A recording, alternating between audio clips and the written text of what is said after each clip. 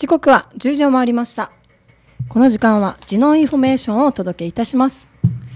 ジノインフォメーションは宜野湾市の生活に役立つ情報を司法宜野湾からお伝えしていきます。この番組は宜野湾市の提供でお送りいたします、はい、ということでですね明るい音楽で始まりましたが早速司法宜野湾からお伝えしていきます。まずはじめに車両運転スタッフ講習受講者募集。高齢者の雇用就業を促進するため次の通り講習会を開催いたします。日時は12月20日水曜日そして12月20日12月21日火曜日12月22日金曜日となっております。計3日間。時間は午後1時から午後4時。場所は宜野湾自動車学校。対象者はシルバー人材センターにて就業を希望する。市内在住の60歳以上の方。そして講習内容はシルバー人材センターで就業するために交通安全の講義や適正検査及び運転実技を習得するもの。受講料は無料。定員は10名となっております。お申し込みお問い合わせは宜野湾市民シルバー人材センターお電話番号は893-6828 893の6828そして沖縄県シルバーシルバー人材センター連合。お電話番号は871の0330 871の0330となっております。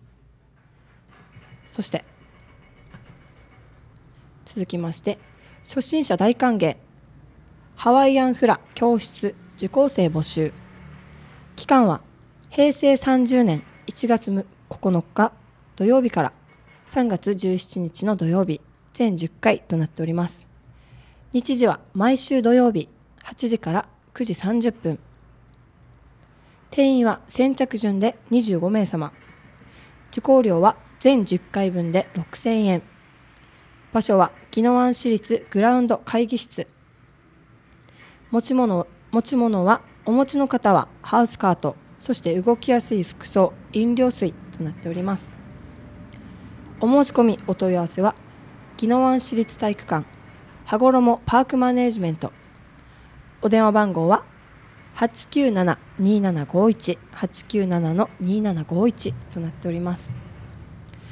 そしてもう一度学びたい方へ平成30年度県立宜野湾市公立高等学校通信制説明会。本校の通信教育では週1回の日曜スクーリングと平日の自宅学習を主体とした学習形態です。年齢制限はありません。高学心のある方もう一度学びたいという方を歓迎します。説明会の日時は11月26日日曜日にあってもう一度12月10日日曜日にもあります。時間は4時から午後4時からとなっております。場所は宜野湾公立学校。内容は通信制の学習の仕方について。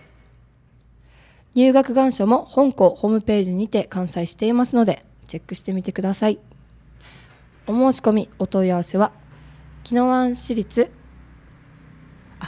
すみません失礼しました。県立宜野湾高等学校通信制課程。お電話番号は942の2362 942の2363となっております。続きましてビューティーヨガ受講者募集。日程は12月から平成30年の3月。全10回。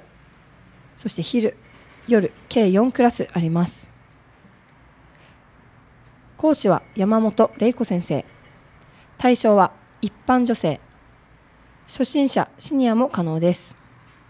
定員は先着順で各クラス35名。場所は宜野湾市立体育館体育館会議室。市立グラウンド会議室。持ち物は飲料水とヨガマット。受講料は1クラス全10回保険料込みで6500円となっております。お申し込みお問い合わせは羽衣パークマネージメントお電話番号は897-2751、はい、続きまして新1年生が楽しい学校生活を迎えられるよう応援します。助成内容は助成金額上限1人7000円。対象は市県民税非課税世帯で経済的理由から学用品等の準備が難しい世帯で次の要件に該当する世帯。1つ目はランドセル購入一部女性平成30年4月に市内小学校市外特別支援学校小学部に入学する新1年生。そして学生服購入一部女性。こちらは中学生が対象となります。平成30年4月に市内中学校そして市外特別支援学校中中等部に入学する新1年生。受付期間は11月1日水曜日から12月25日月曜日。時間は、え朝の8時30分から午後の5時15分まで。土日祝日は除きます。お申し込み方法は、えー、市内保育所幼稚園小学校宜野湾市の社会福祉協議会で申請書を受け取り必要事項を記入の上宜野湾市社会福祉協議会へお申し込みください。お問い合わせは市社会福祉協議会お電話番号は892-6525 892の6525となっております。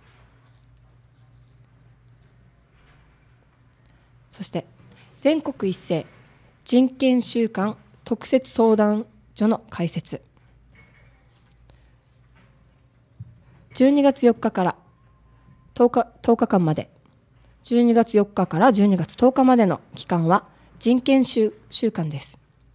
いじめ体罰児童虐待など子どもの人権に関する相談セクハラ DV など女性の人権に関する相談そして名誉信用差別などの人権問題についての相談家庭内トラブルなどの困りごと相談などお気軽にご相談ください。難しい手続きもなく秘密は固く守られております。お気軽にご参加ください。日時は12月5日火曜日。10時から4時まで。場所は市の役所3階第一会議室。お問い合わせは宜野湾市民生活課内線の438内線の438までお問い合わせくださ、い、そして第15回地域で頑張る仲間たちパネル展開催。12月9日の障害者の日にちなんで障害福祉について考え共に生きる社会。誰もが自分らしく安心して暮らせる街を目指し第15回地域で頑張る仲間たちパネル展を開催します。当日は市内で活動している障害者グループ障害者団体等の活動紹介即売会等を予定しています。多くの市民の皆様のご参加をお待ちしております。日時は12月4日月曜日12月8日の金曜日までとなっております。パネル展の時間が午前9時から午後5時そして即売会が午前10時から午後4時最終日は午後3時までとなっております。場所は宜野湾市役所本庁1階玄関ロビーおよび市民ギャラリーそして玄関前となっております。お申し込みお問い合わせは障害福祉課内線の177-370 177の370ですね。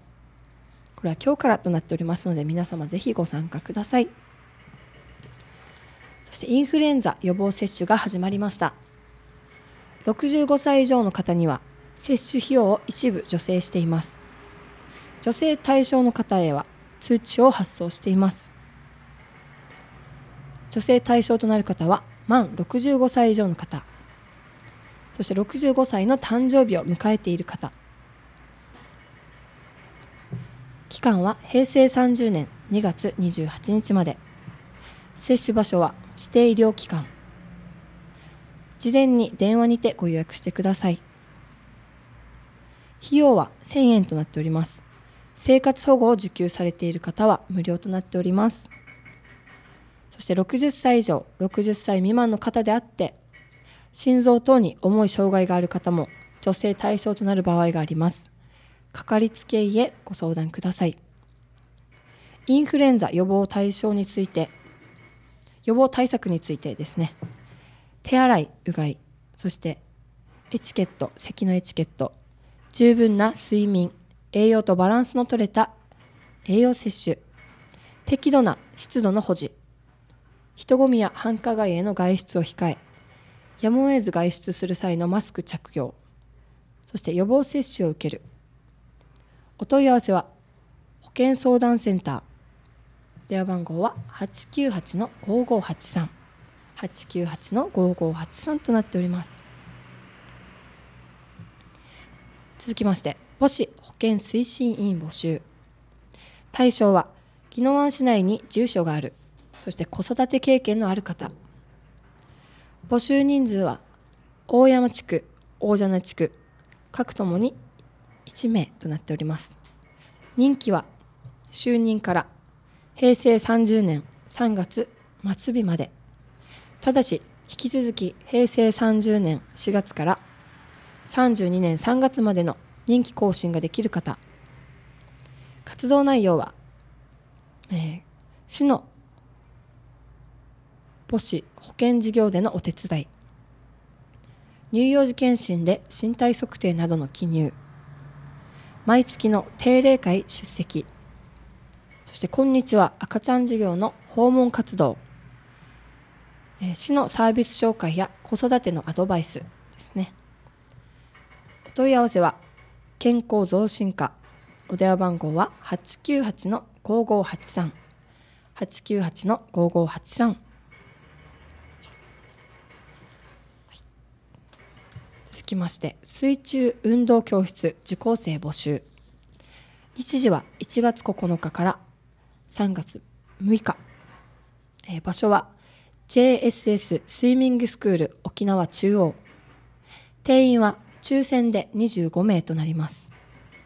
対象者は宜野湾市民40歳から40歳から64歳までの方で次の3つに該当する方。平成28年4月以降に特定健診または人間ドックを受診し検診結果を提出できる方。2つ目は医師からの運動制限のないもの。場合によっては医師からの意見書を提出していただくこともあります。3つ目は原則として教室全日程に参加できる方。受講料は無料となっております。受付は電話または窓口。そして受付後検診結果を保健相談センターまでご持参ください。募集期間は12月4日月曜日今日からですね12月22日の金曜日までとなっております。お申し込みお問い合わせは保健相談センター898-5583 898の5583となっております、はい、ということで詳しくは宜野湾市役所電話番号は098-893-4411 098-893-4411までお問い合わせください。以上ジノインフォメーションでした。この時間は宜野湾市の提供でお送りしました。それではまた来週この時間にお会いしましょう。さようなら。